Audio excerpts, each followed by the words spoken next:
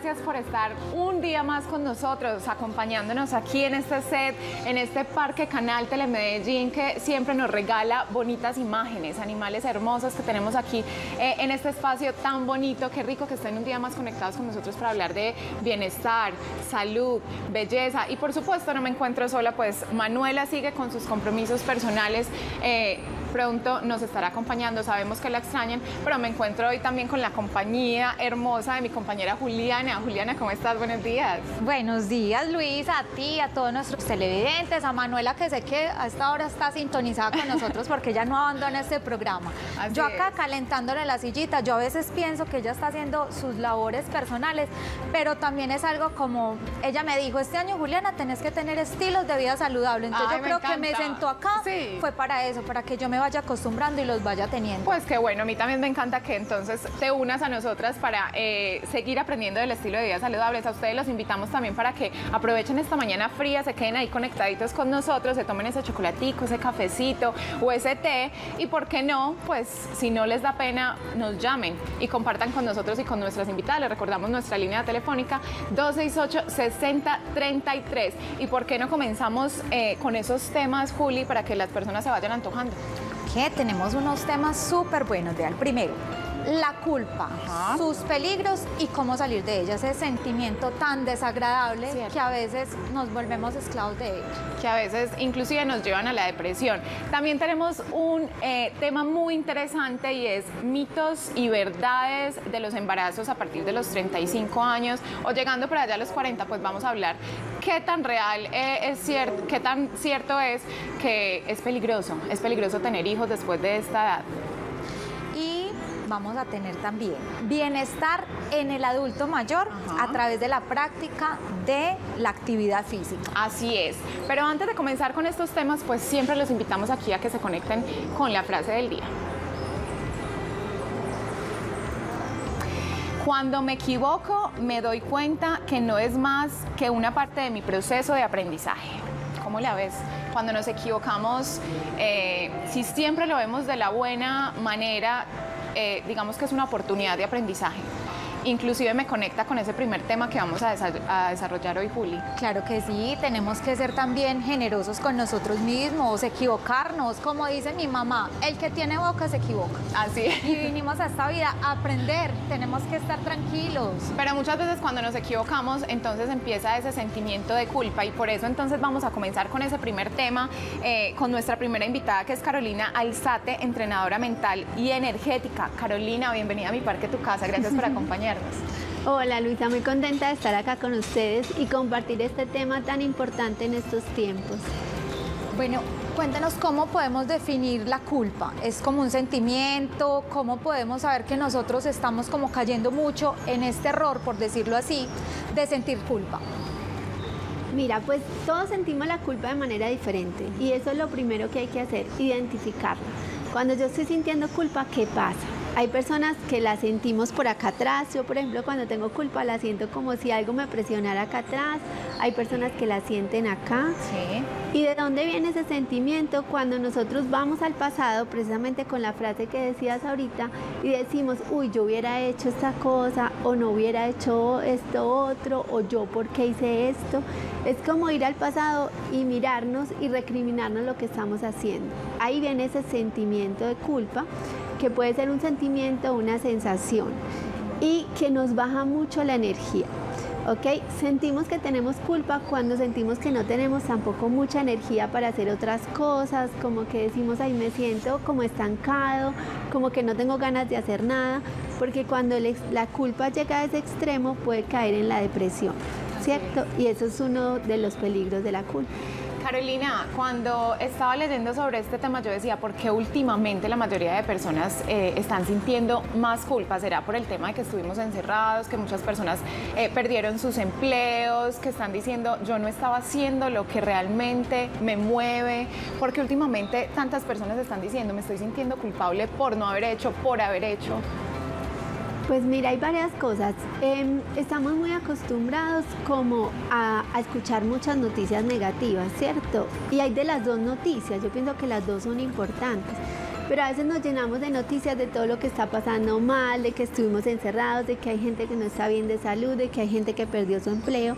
Entonces decimos, uy, yo debería ser o yo debería estar como esas otras personas y porque yo me siento feliz. Yo no me debería sentir feliz porque hay gente sufriendo, hay gente que está pasando un mal momento y yo porque tengo este beneficio de sentirme bien. Entonces salimos de pronto a vacaciones o salimos por ahí y decimos, uy, no, yo debería estar guardada en la casa, yo no debería hacer esto, yo debería hacer lo otro. Y, eso es lo que nos genera tanta culpa, ¿cierto? Últimamente hay un diálogo mental de me puse el tapabocas, no me lo puse, eh, salí o no salí, debería estar cuidando a esta persona, no cuidándola.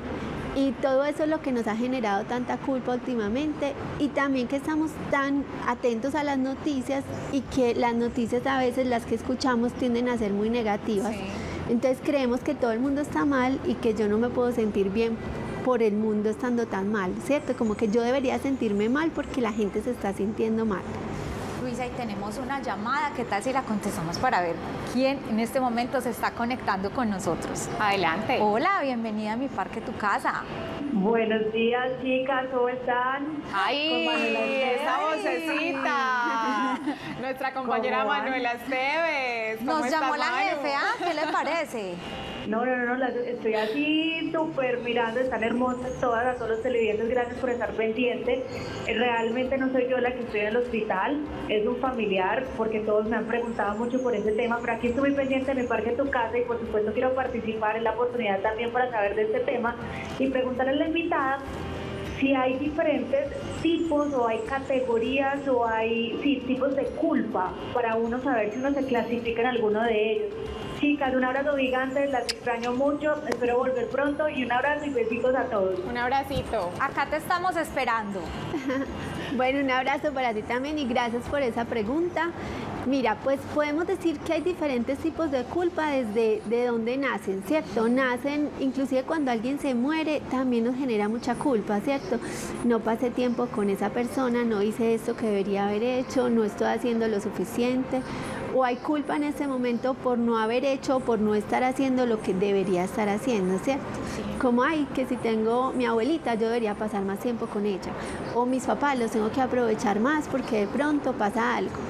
Entonces podemos clasificar la culpa, digamos, desde dónde viene, si es culpa desde, desde lo que yo siento o viene de mí o viene de otras personas. Eh, lo que a mí me parece más importante, sin embargo, es revisar qué hacer con la culpa, ¿cierto? Más que, pensar de dónde viene eh, o, o que pensar cómo clasificarla. Bueno, también es importante ahora que lo pienso. Si nosotros verificamos de dónde viene, podemos parar ese diálogo mental, ¿cierto? Decir, bueno, ¿yo por qué estoy una y otra vez pensando en esto o sintiéndome mal por esto que ya pasó? Porque en el pasado realmente yo no puedo hacer nada el pasado ya pasó y como decía esta frase de ahorita es parte de lo que soy hoy. O sea, mi pasado me hace quien soy hoy, así tal como soy. Y todo ese pasado es experiencia. Entonces es más bien como empiezo a transformar ese diálogo dándome cuenta de dónde viene y cómo me está haciendo sentir. Me encanta, Carolina. Eh, decías algo que es ese diálogo interno que tenemos. Somos pensamientos todo el tiempo. Inclusive escuchaba en estos días un podcast que decía, ¿cuál es la persona con la que más hablas? Y realmente la persona con la que más hablas eres tú, porque todo el tiempo estás con esos pensamientos ahí dándote latigazos hablando del tema de la culpa. Entonces, digamos que qué herramientas nos puede regalar hoy para que empecemos a manejar eh, de qué nos vestimos hoy. Por ejemplo, qué rico levantarnos y decir, no, voy a hablarme bonito, voy a eh, sanar, perdonar, digamos, alguna actitud que tuve que no me gustó para no darme ese sentimiento de culpa? Sí, lo primero que tenemos que hacer entonces es empezar. Yo trabajo con programación neurolingüística, con meditación y desde la programación todo lo que nosotros nos decimos a nosotros mismos va programando nuestra mente y va generando sentimientos, ¿cierto? Entonces si nuestros pensamientos son positivos, nuestros sentimientos son positivos. Si tengo pensamientos de culpa, pues voy a tener esos sentimientos de culpa. Y desde la meditación es muy importante empezar a parar esa mente que no esté todo el tiempo hablando, porque no necesitamos estar todo el tiempo hablando con nosotros mismos.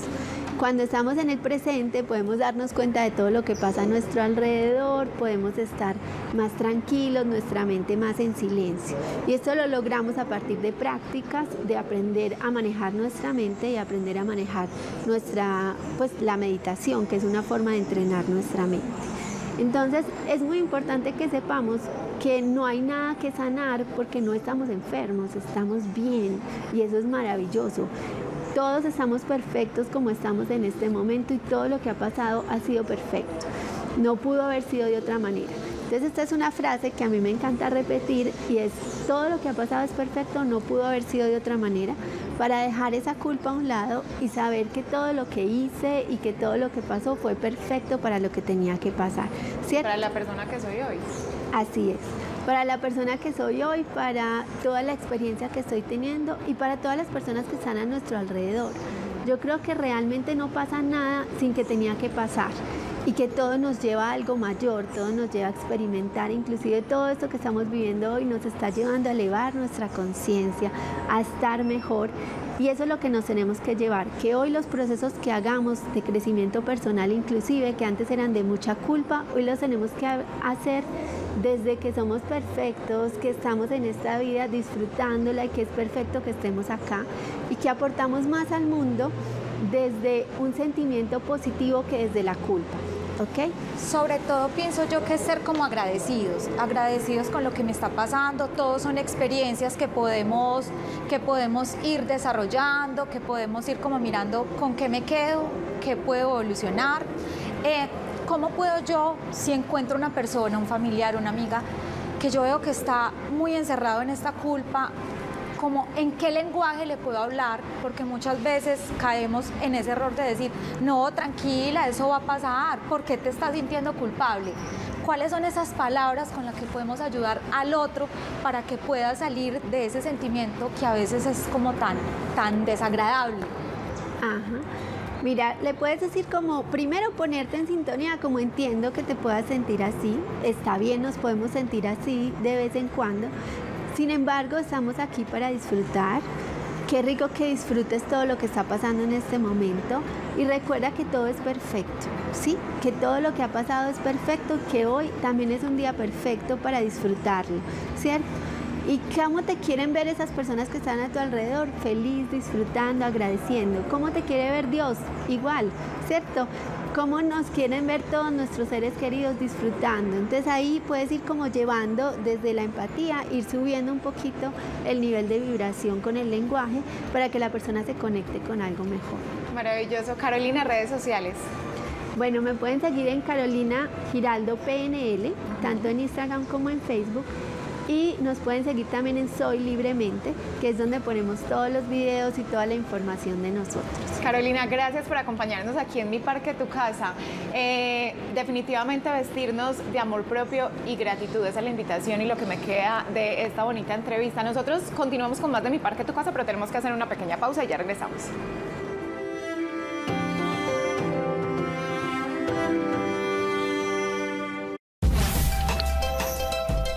Estás viendo Mi Parque, Tu Casa.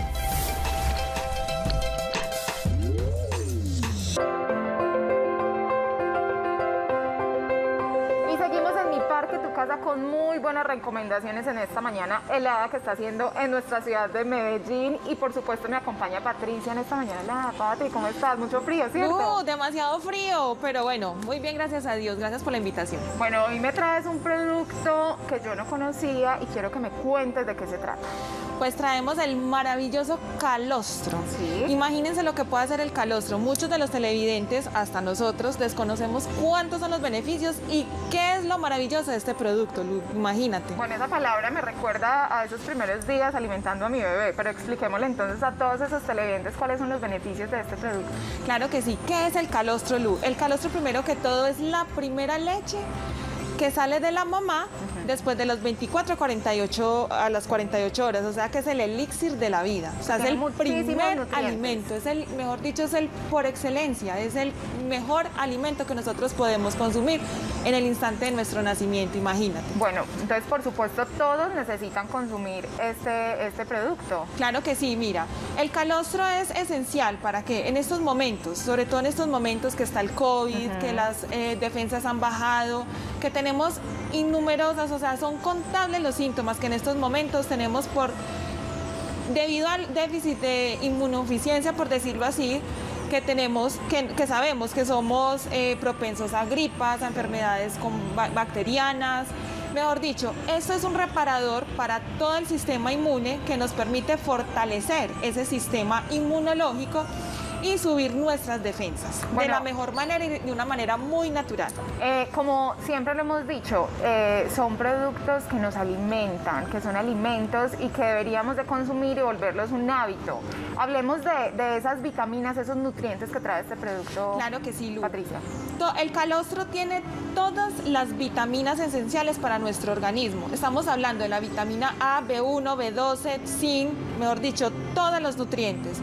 Pero la más importante es que contiene el omega 3, 6, 9, que juntos, imagínate si cada uno contiene un omega, estamos hablando que el omega 3 es el que nos ayuda a reactivar las neuronas, o sea, recuperar nuestra memoria, eh, mejor dicho, todo lo del sistema eh, nervioso. El sistema, el, omega 3, el 6, es el que nos ayuda a evitar esos dolores de artritis, el colesterol, los triglicéridos y el 9 que es esencial, ayuda a, evitarnos problemas, pues sobre todo a formular problemas de cicatrización. Pero imagínate los tres, que estamos hablando del omega 3, 6, 9, juntos hacen un cóctel de inmunidad y suben las defensas. ¡Wow! Maravilloso. Imagínate lo que puede este hacer. Tiempo. Entonces todos nuestros televidentes se están preguntando, bueno, ¿a partir de qué edad le podemos dar a nuestros niños y por supuesto los adultos cómo lo podemos consumir? Mira, esto es, este calostro está diseñado a partir de en los chiquitos a partir de los 5 años de edad. Y en los adultos todos. Todos, todos, todos. La dosis es muy sencilla. Simplemente lo que hacemos es, su presentación viene en polvo. Sí. Lo podemos eh, agregar en leche o jugos naturales. ¿A qué saben? Eso sabe a frutas. O sea, en este esencial eh, hay de fresa, de vainilla. Es delicioso. Es mejor dicho, es el elixir, es una malteada, es el primer, debería ser la primera bebida en la mañana, que es lo que normalmente es lo habitual y sobre todo es esencial para toda la familia. Miren, regalemos bienestar, regalemos salud. Es vital en estos momentos que, tenemos eh, de pronto las defensas por muchos síntomas, no solamente enfermedad, sino también a nivel psicológico, que eso nos ayuda a tener un déficit en toda la, en toda la parte de del sistema. Bueno, Patricia, todos están preguntando, bueno, ¿qué me vale? ¿Qué regalo traes para todos los televidentes de mi parque, tu casa? Mira, Lu, una, un solo tarro de calostro está alrededor de los 70 mil pesos. Pero para los televidentes de mi parque, tu casa, te vas a llevar, estamos dando dos por 69 mil 900 pesos. Y si son de las 25 primeras llamadas, te vas a llevar el tercero por los mismos 69 mil 900 pesos. Es un regalo, es bienestar, es salud para todos y está a un precio muy favorable.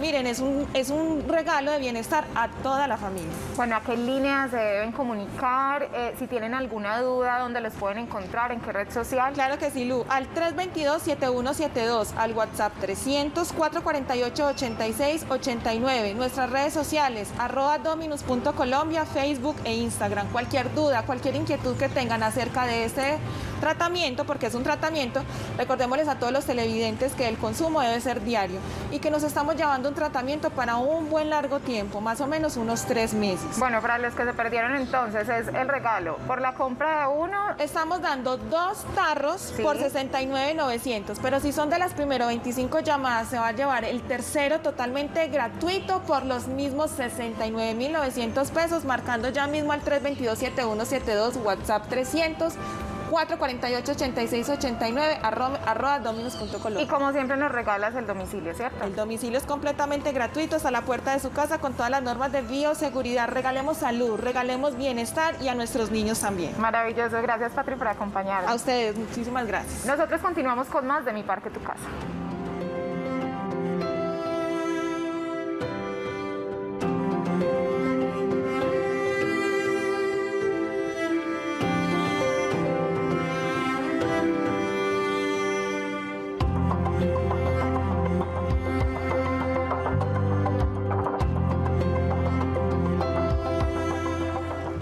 Bueno, y llegó el momento que todas ustedes, nuestras televidentes que nos están viendo en este momento, nos llamen y nos cuenten a qué edad quedaron en embarazo. Y nos cuenten esa experiencia, qué tal les parece.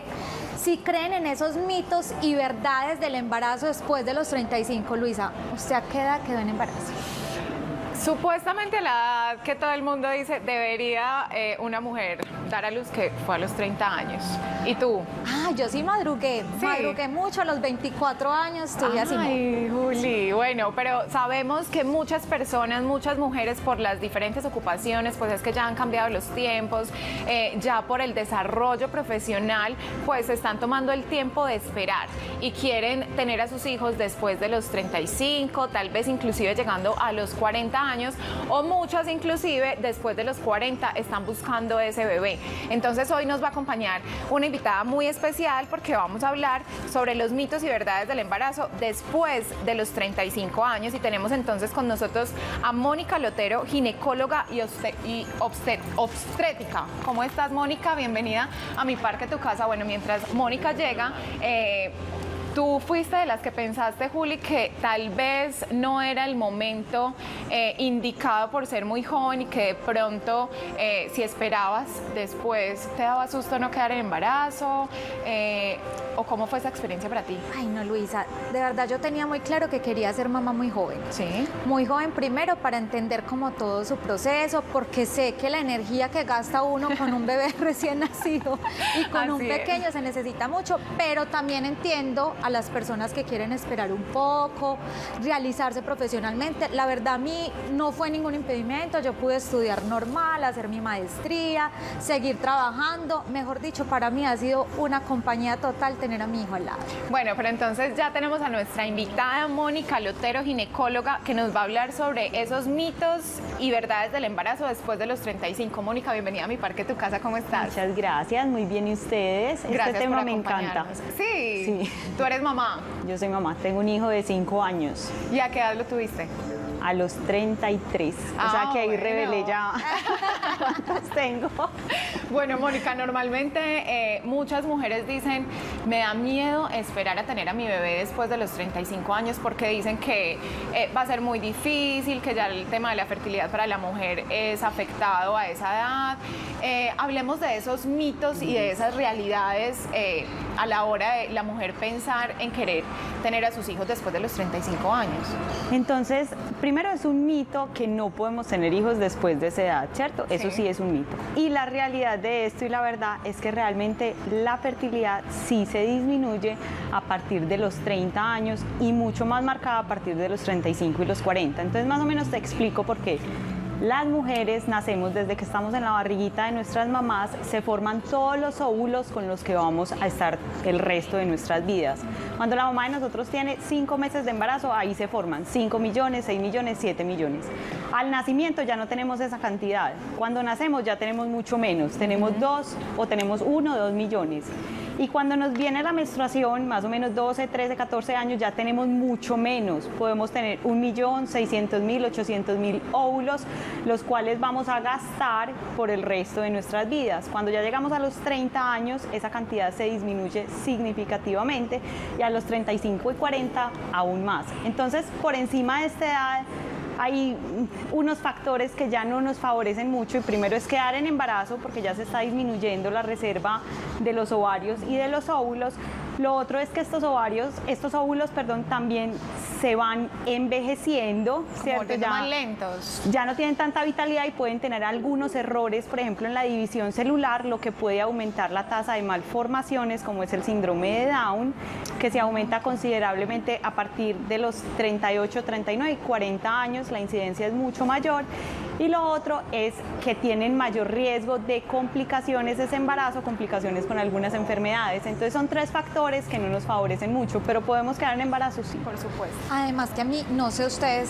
si comparten esta idea conmigo, pero yo pienso que a los 35 años uno todavía es tan joven. Pues sí. yo me siento muy joven todavía, a los 35 uno, y además tiene como esa experiencia, eh, todo este, como toda esta energía que uno quiere inyectarle al bebé. Pero cuéntanos ¿cuáles son esos riesgos que puede tener el bebé si una mamá es, eh, tiene este embarazo después de los 35 años? ¿Hay riesgos? Bueno, primero aumenta el riesgo de malformaciones cromosómicas como sería el síndrome de Down y otra de las cosas importantes es que tienen mayor riesgo de pérdidas del embarazo o de abortos tienen mayor incidencia de abortos a esta edad. Y otra de las cosas es por complicaciones en el embarazo, por ejemplo un parto prematuro porque tiene mayor incidencia de nacer antes de tiempo, ya las complicaciones que vienen por la prematurez. Bueno, Mónica, ya tenemos una llamada, una televidente que nos quiere compartir su experiencia porque ella está en este momento en embarazo y ella es Cristina Mejía que nos está llamando desde Laureles. Cristina, buenos días, ¿cómo estás? Hola, buenos días. Gracias por comunicarte con nosotros. ¿Qué nos quieres compartir?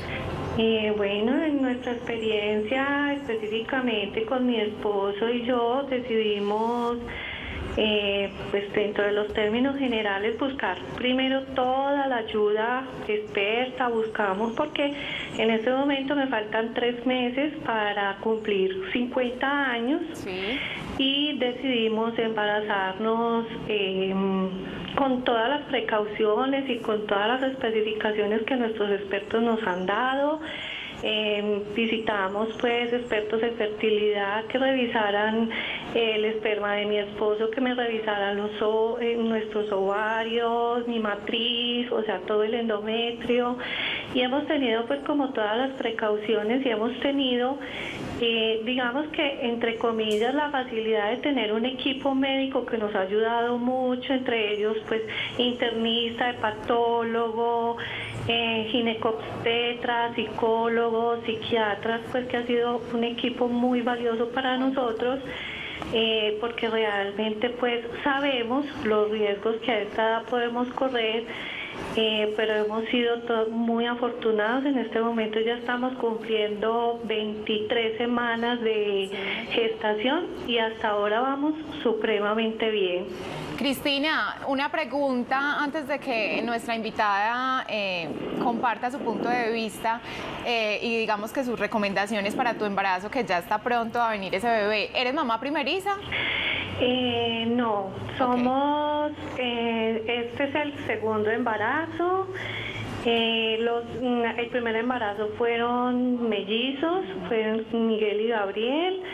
Eh, se gestaron hasta la semana 28, nacieron vivos, nacieron supremamente bien, pero en el camino, pues desafortunadamente hubo algunas complicaciones y entre la fecha de nacimiento y la fecha de fallecimiento hubo ocho días.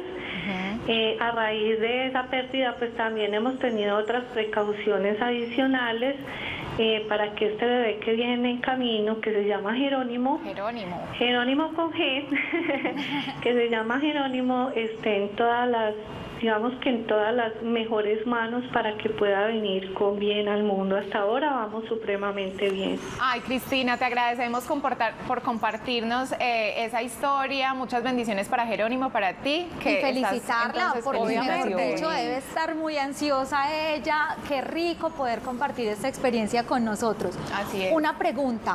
Siempre pensamos, las mujeres pueden tener algún tipo de riesgos. En los hombres, no importa la edad que tengan. Pues no, sí importa. Los espermatozoides también van cumpliendo su ciclo, lo que pasa es que es un poquito más tarde que las mujeres. O sea, la capacidad de los espermatozoides va disminuyendo a partir más o menos de los 46 años. Ellos logran embarazar a una mujer hasta mucho más tarde que las mujeres nos logramos embarazar. Pero hace parte, lo que dijo también la, la Cristina, que fue la que llamó, hace parte de todo un equipo multidisciplinario. Entonces mi, mi consejo, que ella lo hizo muy bien y lo contó pues muy bien, es si queremos postergar esa maternidad porque tenemos unos planes a futuro laborales o tenemos unos planes emocionales o de viajes, por lo menos desde los 33 años, que es una buena edad, o inclusive antes mejor, podemos ir pensando en las opciones que hay para que ese embarazo sea mucho más saludable. Uno de ellos, por ejemplo, sería la congelación de los óvulos. Y es congelar los óvulos jóvenes para poder quedar en embarazo posteriormente, pero con óvulos de menor edad. Y otra de las cosas es, el programa cae muy bien porque es estilo de vida saludable. Entonces es importantísimo que si una mujer quiere postergar su maternidad para 36, 37, 38 años, por lo menos que lleve una adecuada alimentación, que no tenga unos eh, valores, por ejemplo, unos, un sobrepeso o unos, unos pesos muy bajos que también tienen problemas con fertilidad, que no fume, porque el cigarrillo también altera la fertilidad, que haga ejercicio y lo mejor o lo ideal sería que no tuviera antecedentes personales, por ejemplo, de hipertensión, de diabetes o de condiciones que puedan empeorar el embarazo. Bueno, maravilloso doctora que nos dé esas últimas recomendaciones ahí tan específicas y tan claras para que todas esas televidentes que están planeando tener hijos después de los 35 años, pues las tengan en cuenta. Las redes sociales para saber más sobre este tema. Mis redes sociales son arroba Mónica Lotero Ginecóloga. Mónica, así facilito, muchas gracias. Ahí aparecieron en pantalla. Gracias por acompañarnos nuevamente, por compartir este conocimiento con todos nuestros televidentes de Mi Parque Tu Casa. Muchas gracias por haberme invitado. Nosotros tenemos que hacer una pequeña pausa, pero ya regresamos con más de Mi Parque Tu Casa.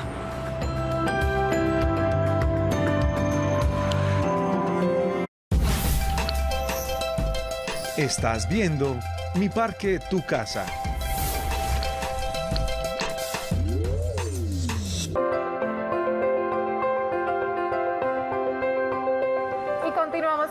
Mi parque, tu casa, y ya tenemos a nuestras invitadas.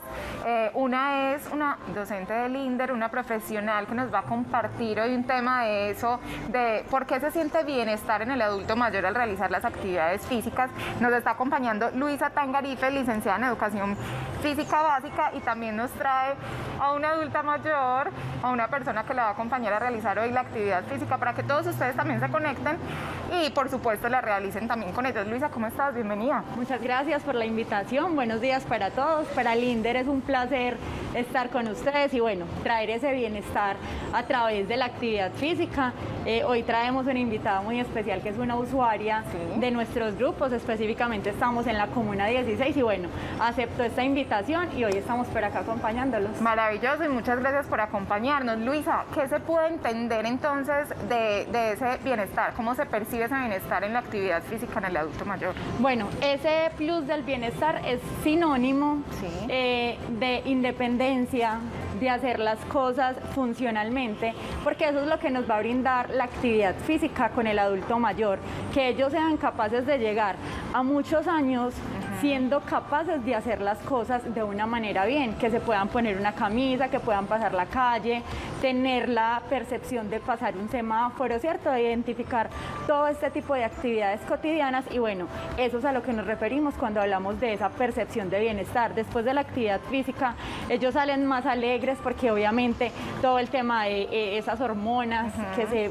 que se ejecutan cuando estás haciendo la actividad física se van con ese placer, con la felicidad de que hoy pudieron hacer algo más y que su cuerpo funcionalmente los dejó. Entonces eso es esa percepción. Listo, entonces entremos en materia. ¿Qué tal si todos se levantan de esa cama, de sus sillas? Mejor dicho, nos vamos a terminar de despertar. Entonces, comencemos con esta actividad. Me dices que primero es un baile, después vamos a hacer como un pequeño circuito de tres minutos, ¿cierto? Y estiramiento. ¿Qué tal si comenzamos y nos explicas todo? Perfecto, vamos a empezar entonces a hacer un calentamiento, que normalmente es lo que hacemos en las clases. Vamos a empezar a bailar, a hacer una movilidad articular, los hombros hacia atrás grande. Y muchas gracias a todos por estar ahí conectados. Hombros hacia atrás y lo va a cambiar hacia adelante. La movilidad articular que permite esa preparación suya para hacer un esfuerzo mayor. Muñecas hacia afuera, círculos, eso es.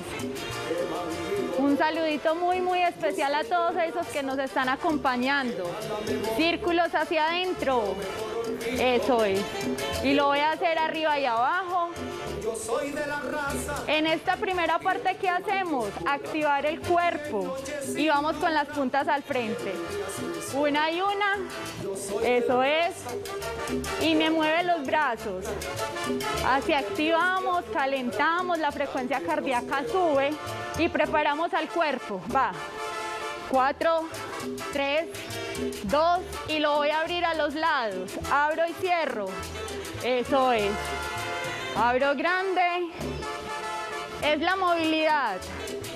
Rangos amplios y recuerde que la práctica de la actividad física nos da la funcionalidad. Y al frente, una y una. Eso es. Sigue. Extiendo el brazo y lo voy a llevar arriba. Si usted tiene problemas de hombro, no va a llevar el movimiento arriba, sino todo el tiempo al frente.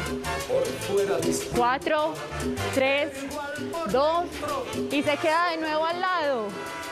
Brazos. Muy bien. Siempre en la actividad física empezamos con un calentamiento, que puede ser esto, una bailadita, movilidad articular, algo suave. Y en el circuito de los ejercicios que vamos a hacer ahorita, les vamos a mostrar cómo se hace. Última vez, atrás. Eso es. Vamos.